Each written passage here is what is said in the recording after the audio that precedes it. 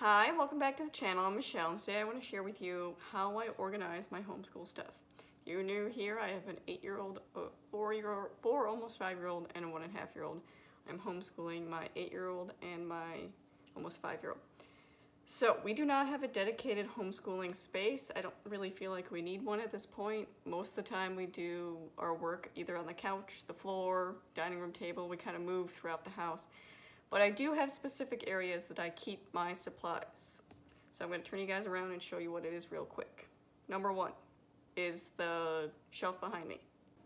All right, in my living room I have a fireplace with the side shelves here and there's one on each. And this I actually use to keep my craft supplies, sewing machine, that kind of stuff. So that entire section is just for me. Over here though, I have dedicated this to homeschooling stuff. So let me open it up for you. Do a quick overview, and this isn't clean, this is just how it always is. So, right here I have these IKEA magazine holders. These are the cardboard ones. I just put some paper over it to make it look prettier because I actually got these about eight years ago. So this is how well they've held up, these IKEA ones. Eight years ago, only one of them is taped on the bottom, the rest don't even have tape in the bottom and they're still holding up. So I highly recommend those magazine holders, the cardboard ones you can see here. But this was the original decor of my craft room eight years ago, so that's why it has that pattern. Anyways, this is my kindergartner five-year-old section right here. This is all her work, so when I need to grab her work, I grab this whole thing, take it to wherever we're working, whether that be the dining room table or the floor. So all of her stuff fits here, and again, I will link above here if you want to see what she uses, but all of her stuff fits here, her calendar, her math, her the teach guide for all about reading, writing prompts, different things like that. Right here in this accordion folder is her all about reading lessons, every single one of them, so I just pull those out as needed. In the center here, I have these all are the Blackline Masters from Singapore Dimensions Math that I printed out and I keep those so when my daughter needs them. These are magnet tiles for spelling and for math. And those actually go with those. They were in the dollar spot a couple years back. So that's why they're kept in here. And they're specifically kept in here because I have a one and a half year old that puts everything in his mouth. So little things, especially things with magnets, have to be put away. We have the weights, again, little tiny things, weights in here for our scale, for math. And then this is just, again, these are from Ikea, little extra holders. We have um, glue sticks down here, we have rulers, extra markers, extra dry erase markers. This is just extra supplies and those things. So moving over here, this is my eight-year-old third graders again. You can see she can just pull this entire thing out herself and take what she needs. This is her math. Singapore Dimensions math. Again, I'll link what she uses above. The new writing she's doing, her wordly wise, and then her old cursive book in case she wants to go back to it, and then some blank line paper. That's all of her stuff. From here over, this is a blank extra notebook in case I need it, or binder.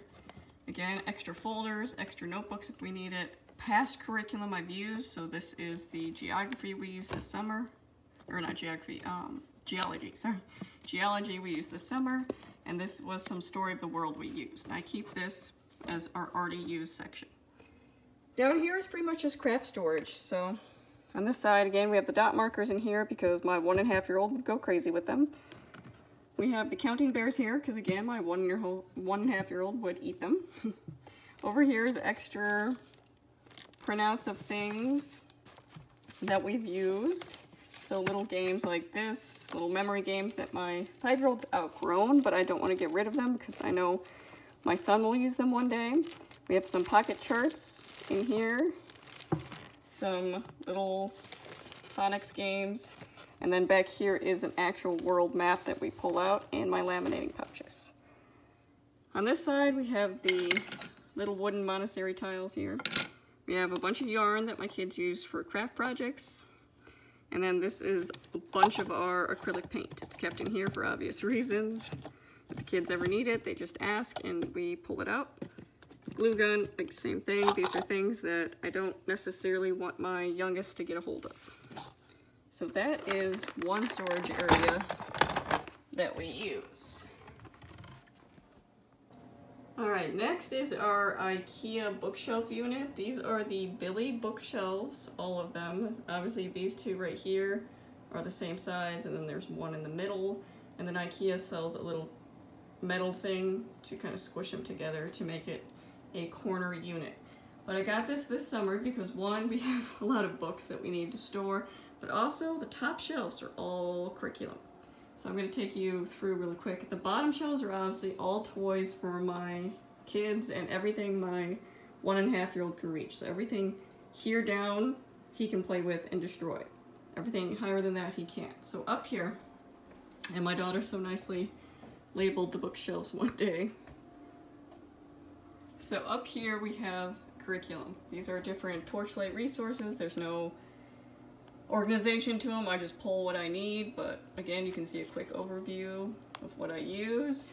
I have some Montessori tiles, letter tiles, and different things like that. These are our lightning literature books we'll be using for the year.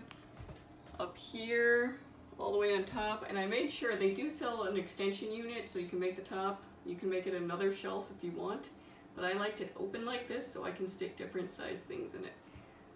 Up here in that basket is art supplies, oil pastels, different things like that that I want them to ask me for. This is a Melissa and Doug pattern puzzle. These are all our little Justice Leaders boxes. Again, I'll link that for you guys to see. And I'll link these bookshelves too in the description below. This up here is our scale that we use for math. So over here are all the games we use for in our curriculum. So we have a couple different ones. And this is just for making different middle-aged things like shields and swords and different castles and stuff. These are the games we play though. And then on this section here we have my eight-year-old's main curriculum. So we're not currently doing Spanish right now, it's not in rotation, but I keep it here so it doesn't get ruined. This is my daughter's Lightning Literature, the teacher guide student book, her writing books, and the book we're currently working on. I keep the Dimensions Math Singapore teacher guide here just because it's huge and that's where it fits. And right behind it I have the next level of Dimensions Math there. I keep Osmo up here, it's really fun, but again I want the kids to be able to ask me if they want to use that. And then on this side it's just kind of a random curriculum. So we go through this, you uh, second grader needs to know. This is all Michael Clay Thompson here. We have some random books that um, people have given us. We have the addition and subtraction facts that stick. Again, my eight-year-old has gone through this already, but I'm keeping it on the shelf for when my next daughter is ready. And then this is just where this big book fit, the escape room. So we keep that there. And again, down here we have first readers for my kindergartner all the Bob books. These go with her All About Reading. More Bob books. This is a collection of rocks. We have more Montessori tiles, letter tiles. We have our counting blocks back there. We have our numbers there. Spanish. My kids love collecting rocks, so you will see them everywhere. And then I have a bunch of little Montessori prints from a box I got years ago, so I always display a couple of those. But that is our main how we sort. This is all poetry right here. Our microscope, again, more rocks you'll see. Tape dispenser, magnifying glass. This is more naturey poetry stuff that we use.